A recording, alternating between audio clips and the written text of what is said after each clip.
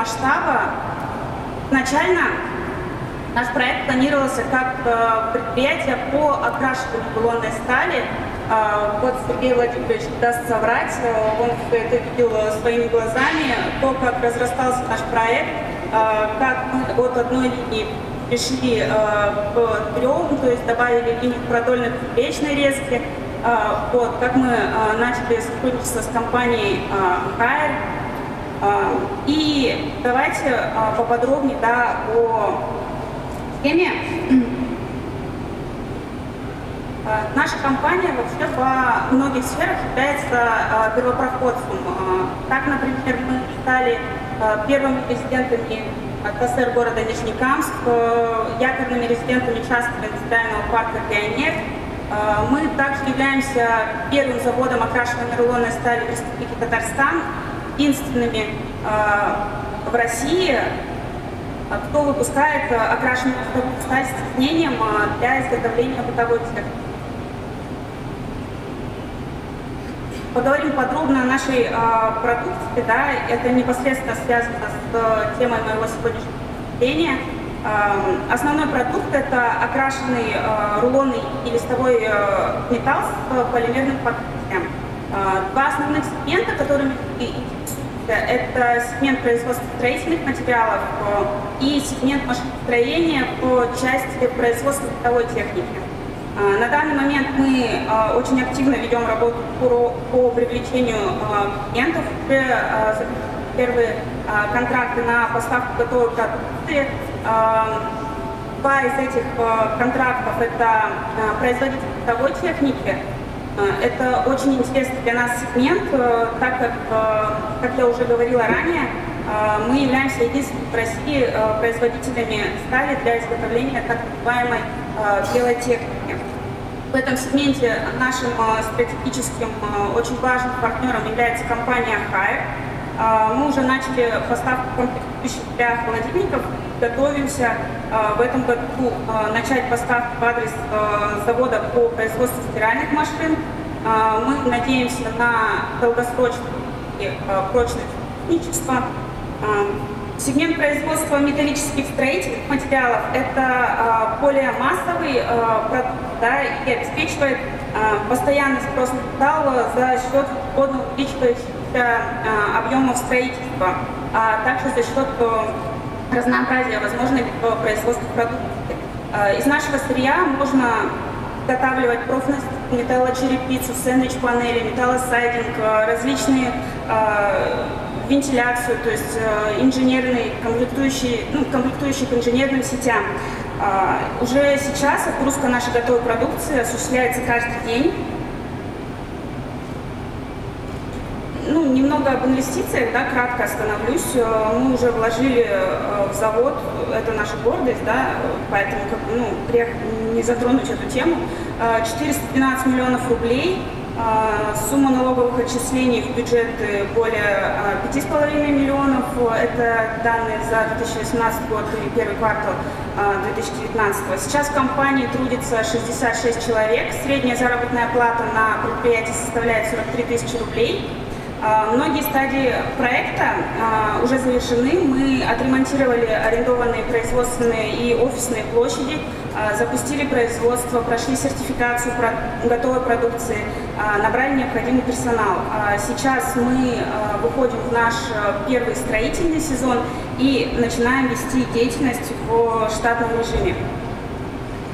А, настала пора поговорить о том, а, что способствует такому а, активному да, развитию компании. Мы располагаемся, как я уже говорила ранее, на территории индустриального парка «Пионер» в городе Нижнекамск. Это комплекс готовых производственных и офисных помещений, в пределах которого созданы все благоприятные условия для ведения предпринимательской и производственной деятельности. А, для нас промпарк – это прежде всего готовые а, помещения с низкой арендной а, ставкой, наличие всех необходимых инженерных сетей, выгодное расположение и возможная господдержка. А, на данный момент э, компания «Камасталь» заняла около 50% э, готовых зданий промпарка. А, и а, интересное наблюдение, да, вокруг «Камастали» уже начинает формироваться промышленный кластер э, в области металлообработки.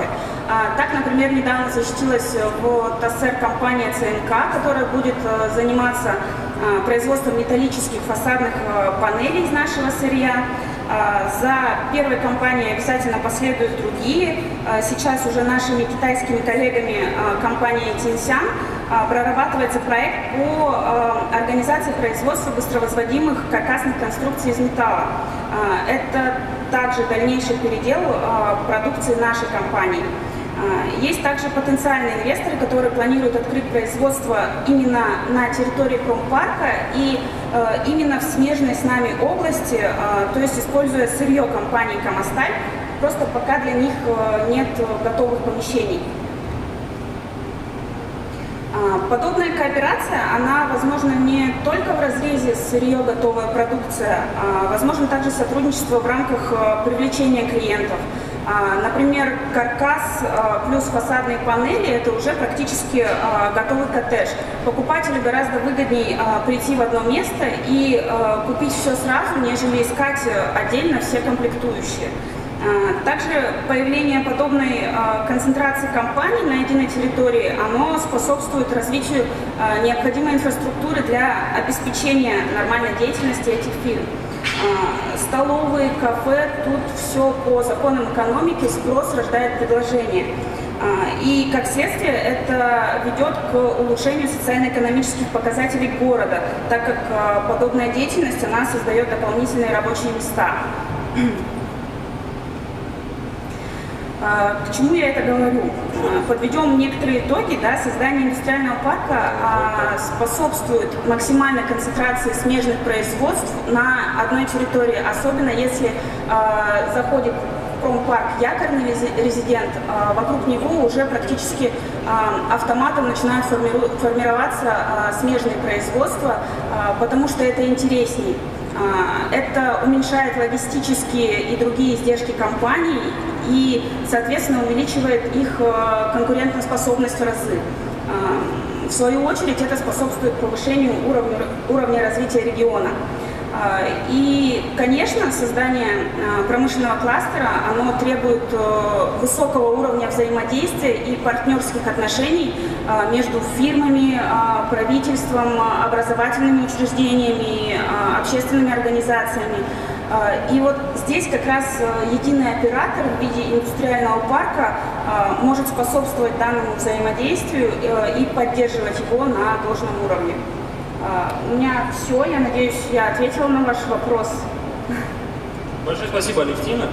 Безусловно, это очень здорово, когда э, в индустриальном парке формируется целый кластер, заходит якорный резидент, за ним приходят другие поставщики, растет вертикально интегрированная цепочка. Но как быть другим участникам рынка? Этот вопрос я хотел бы адресовать вам, Александр. Расскажите, есть ли способы Э, у других компаний, которые не локализованы еще в конкретном индустриальном парке вокруг резидента, как-то войти в эту цепочку.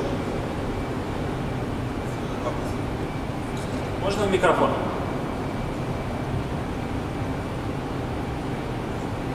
Спасибо большое. Я введу э, некое такое неудобство для наших операторов и статичной такой мишени превращусь в динамичную. И постараюсь ответить на этот же вопрос. А, значит, меня зовут Александр Гуров, я являюсь руководителем электронной торговой площадки «Онлайн-контракт». А, кто-нибудь э, слышал, нет, знаком с торговой площадкой? Ну, я, понятное дело. Да, руки есть, замечательно. Окей, а, вот буквально 20 э, апреля, 4 дня назад, э, наша электронная торговая площадка уже перешагнула такой знаковый для себя рубеж. Мы отпраздновали, отметили 12-летие нашей деятельности, и в результате нашей деятельности мы с самого начала договорились о том, что мы поставили перед собой некие такие принципы, что э, в своей деятельности мы будем руководствоваться принципами открытости, публичности для обеспечения э, равных стартовых условий всех игроков рынка. Электронная торговая площадка занимается организацией тендерных процедур и помогает малому бизнесу делать закупки, э, стать поставщиками крупного бизнеса. Э, мы с самого начала, то есть уже 12 лет работы, э, развивали три основных продукта, три основных направления. Это корпоративные закупки, это э, продажа продукции, обладающей биржевыми характеристиками, то есть биржевые продукты их назвали. И третье направление – это реализация активов и имущества. И вот вкратце я как раз хотел бы обрисовать, каким образом можно пользоваться этим инструментарием уже здесь и сейчас, сегодня, для того, чтобы встроиться вот в эту цепочку, для того, чтобы стать поставщиком крупной компании. А, еще один такой вопрос. А, много ли среди э, присутствующих в зале представителей малого бизнеса? А, обозначу э, такой ориентир. Малыми предприятиями по российскому законодательству считаются компании с объемом годовой реализации до 2 миллиардов рублей. Практически все. И, скорее всего, я не ошибусь, что в головах представителей малого и среднего бизнеса стоит, всегда стоит один вопрос. Они о нем думают. Как стать поставщиком крупной компании? Где эта волшебная дверь? Где этот э, номер телефона, по которому можно позвонить и договориться о сделке? Так вот, э, тот же самый вопрос и стоит у крупных компаний. Вот сейчас как раз-таки идет пора проведения годовых, общегодовых собраний акционеров у крупного бизнеса. И крупный бизнес, топ-менеджмент отчитываются о сотнях миллиардов товарооборота, о выручке, о прибылях и о прочих достижениях. Но на самом деле тот же самый крупный бизнес, э, говоря такие крупные большие цифры, сотни миллиардов рублей товарооборота, он еще и, он не все закупки осуществляет именно на эти большие колоссальные суммы.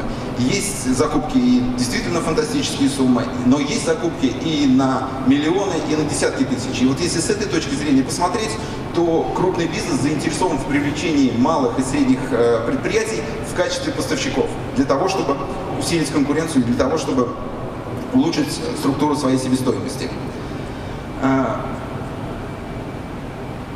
С нашей точки зрения, э, и вот работая непосредственно с крупными компаниями, мы э, в корпоративных закупках э, реализовали следующий инструментарий. Кто-нибудь знает, как вот расшифровывается такая аббревиатура, как ГПЗ? Ну, просто руку поднять, если. Я слышал разные варианты. Газоперерабатывающий завод, было даже такое, господи, повысь зарплату. Так вот, эта расшифровка, э, эта аббревиатура расшифровывается достаточно просто. Это годовой план закупок. На сегодняшний день мы провели переговоры с э, крупными предприятиями о том, что они составляют такую документацию о своих закупках на следующий год и публикуют на нашем на портале. То есть на сегодняшний день уже есть опубликованный ряд э, годовых планов закупок предприятий, которые, можно, которые доступны, чтобы можно зайти и посмотреть и увидеть, на что предприятие в следующем году планирует тратить свои денежные средства, на какие закупки оно планирует осуществлять. А, сейчас, на сегодняшний, э, это уже документация открыта, и можно зайти на наш сайт и посмотреть. В самом верху публикация таких документов есть. А, так, здесь немножко другая презентация, ну, ну да ладно. А, но это еще не все. Если мы говорим про корпоративные закупки, на сегодняшний день мы подходим к закупкам как к некому технологическому процессу. И э, сформированный годовой план закупок, он позволяет всего лишь понять э, те потребности, которые на сегодняшний день испытывают э, э крупный, и, э, крупный бизнес в закупках. Но технологическая цепочка, э, которую мы разработали с крупными предприятиями, э, ведет весь процесс закупки от планирования до получения контракта. То есть это планирование, документирование, проведение тендера, формализованный и понятный и привязанный к срокам выбор поставщика и заключение контракта. И вот с рядом крупных предприятий мы уже находимся в стадии реализации такой технологической цепочки. Таким образом, э, заказы крупных компаний не только анонсируются, они становятся реально ближе для малого и среднего бизнеса, и они привязаны к срокам. Это что касается корпоративных закупок. Это сегодня уже работает. И с каждым днем компаний, которые работают по такой технологии, все больше и больше становится. Перейдем к следующему. Это биржевые продукты. А, здесь у нас э, в качестве э, наших клиентов, с которыми мы сотрудничаем, это вот крупнейшие предприятия Республики Татарстан и Российской Федерации, компания Нижнекамп нефтехим, их стенд здесь представлен, Казань, Урсинтез, Таифенко и ряд других российских компаний, договоренность и принцип работы у нас следующий. Часть своей продукции они выставляют на наши торговые площадки для а, продажи неограниченному пулу компаний. И то есть любая компания, пройдя простую, понятную процедуру регистрации, может законтрактовать этот объем и более того, есть экономические стимулы на заключение контракта, то есть экономический запрет на неисполнение этого контракта. Таким образом, а, малое предприятие, законтрактовав сделку, гарантированно получает эту продукцию и, более того, гарантированно заключает контракт с, непосредственно с компанией-производителем. Производителю это тоже интересно, потому что таким образом он формирует некий такой пул поставщиков, а, пул покупателей, которые у него берут достаточно а, серьезный объем, он получает ценовой индекс и он получает покупателей. То есть здесь взаимовыгодное сотрудничество по этому направлению с крупным бизнесом также можно построить.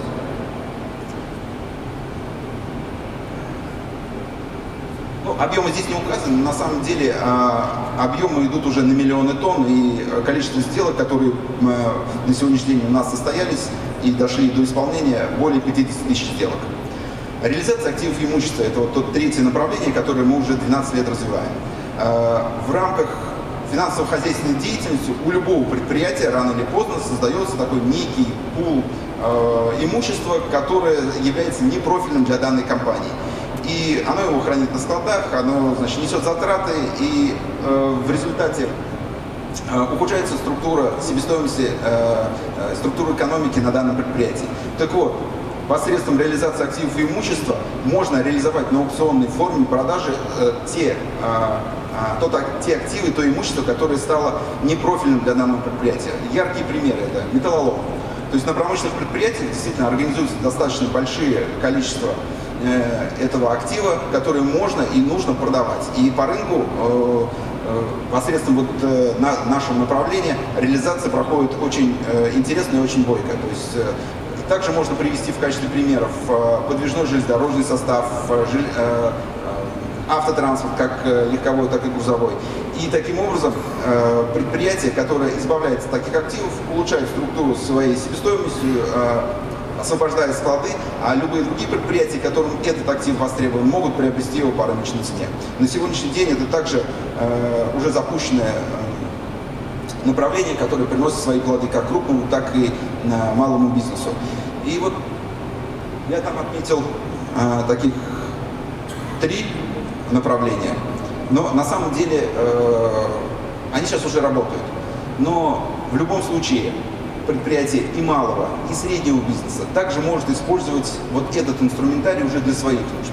Потому что бывают ситуации, когда даже малое предприятие закупает большие объемы чего-либо. Поэтому также можно провести тендер и посмотреть, э, сколько этот актив стоит и получить лучшую цену здесь и сейчас. Это наши основные направления деятельности.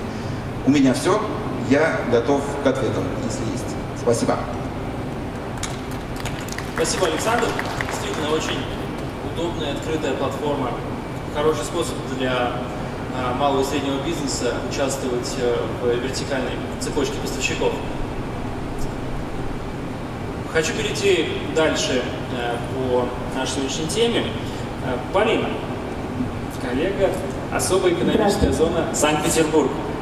Скажите, пожалуйста, как изменился портрет вашего клиента, вашего резидента сегодня? И изменился ли он вообще.